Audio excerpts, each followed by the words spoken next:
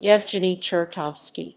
Yevgeny Yefimovich Chertovsky Russian, Evgenii Efimovich Chertovskii, born February 15, 1902, date of death unknown was a Soviet-Russian inventor who designed the first full-pressure suit in Leningrad in 1931.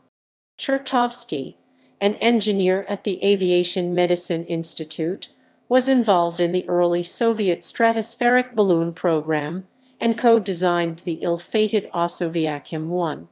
The first aircraft designed for crew wearing Chertovsky's pressure suits could have been a gigantic 300,000 cubic meters USSR-3 balloon that burnt down on launch pad in September 1935.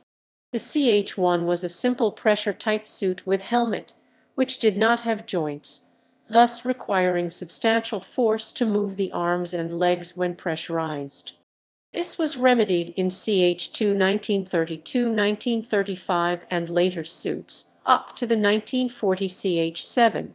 CH3 was the first operational suit that allowed the pilot sufficient freedom of movement, first tested in flight in 1937 at a 12-kilometer altitude. Chertovsky coined the term skafander for full-pressure suits from the Greek words skaf boat